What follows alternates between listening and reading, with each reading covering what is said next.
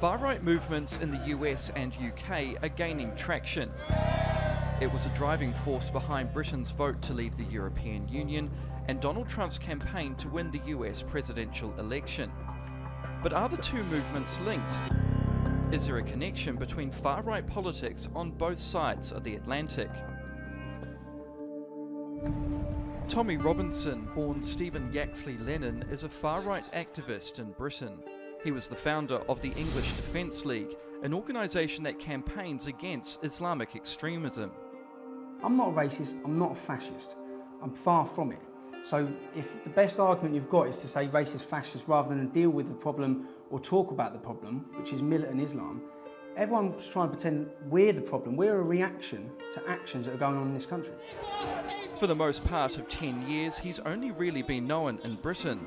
But a court case in Leeds changed that after he was jailed for breaking reporting restrictions. His live streaming of events outside was deemed a contempt of court, which could prejudice the case. He was sentenced to 13 months in prison. In America, Robinson's story has been reported as one of injustice. His supporters say he was punished for broadcasting unpopular views. Now, some have likened him to a suffragette for right wing politics. Over 630,000 people signed a petition for his release. Protests took place across Britain, and campaigns under the Free Tommy banner exploded online.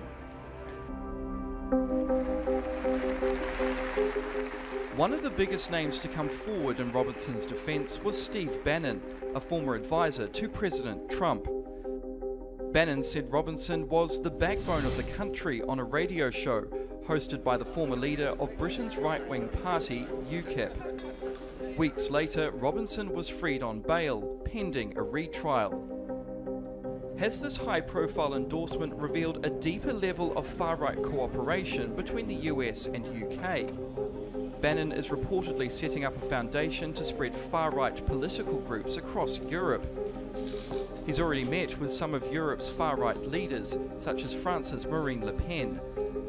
And he says he's aiming to establish a right wing supergroup within the European Parliament.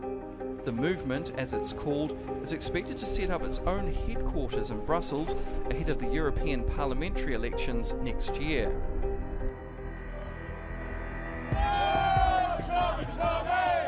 Tommy Robinson's imprisonment in the UK has become a focus point for the far right movement. It's moved the debate from Britain to America and beyond. Has it empowered two separate far right movements in two separate countries to link up? And if so, has the far right moved into the mainstream?